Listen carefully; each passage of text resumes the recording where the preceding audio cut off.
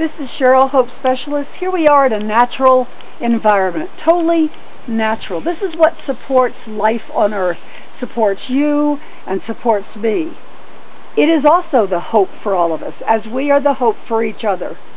Today we're going to interview someone who knows Chris Haskell, but I want to remind you that Chris has been talking to us for over 10 years, alerting you to what is happening to our natural environment. We need this natural environment to live. It's beautiful. Breathe, breathe in, and breathe out, and enjoy the natural environment, for it will lift your spirits. It will lift you to the heights that you need to go to deal with anything that you need to deal with as a human being. Hi, this is Sheryl Hope Specialist, and we're in a very natural environment here with uh, some other neighbors of Chris that would like to tell you what he means to them and what they know about Chris. This is all this this search for who is the real Chris Haskell. Chris Haskell, the filmmaker, he is a humanitarian, and he is the chemtrail man, the signed avenger. Hi. Hi. So how do you know Chris? We uh, we own the cabin next door to the Haskell cabin, and we met Chris probably four to five years ago, and uh, we see him up here all the time. He's always up here working on the cabin, and he's a worker. Uh, he's a worker, and he's he is he's, a workaholic. yes, he is.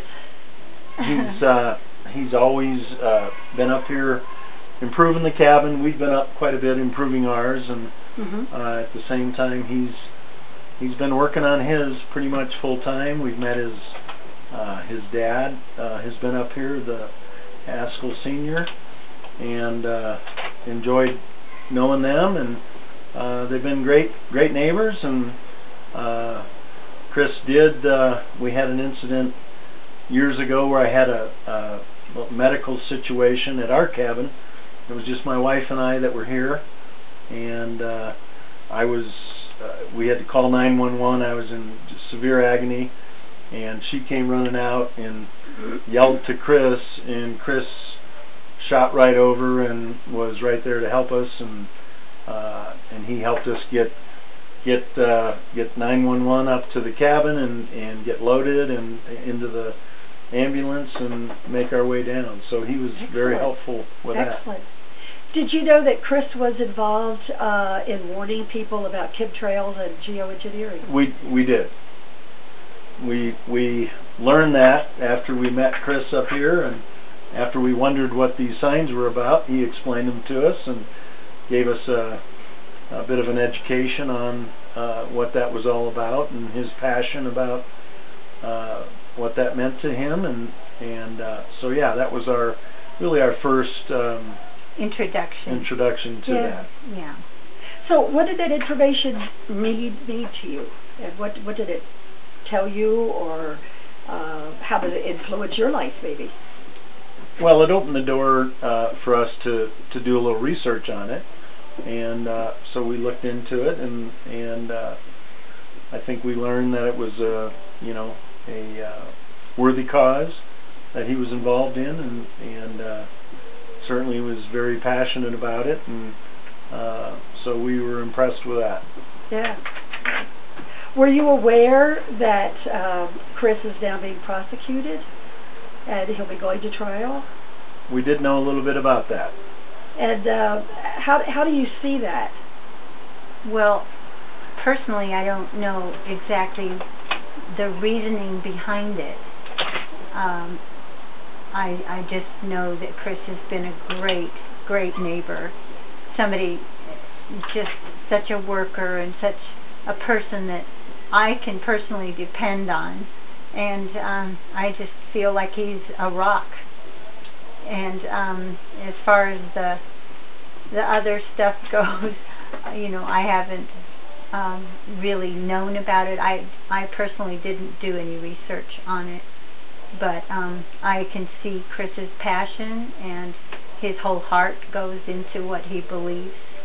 So whatever he's being prosecuted for, I I do not know. I knew I knew something was going on. He was in trouble, but I didn't know what for.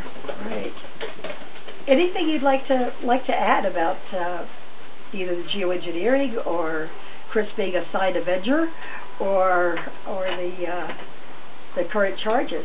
Anything else you'd like to add? Well, we we probably don't know the the whole depth of you know what what the charges are. I mean, most of what we've heard is hearsay, really up up on the mountain. Chris has talked to me a little bit about it, and and it just doesn't seem uh, like uh, you know something that uh, Chris, as far as we know, Chris uh, would would be uh, involved in uh, at least what the apparent charges are. So we were a little surprised to hear that, but um, we certainly, uh, uh, you know, um, wish him the best in in whatever, uh, however this goes. And and again, uh, it's just a, a surprise to us to see that uh, these kind of charges were being leveled against him based on who we know him to be.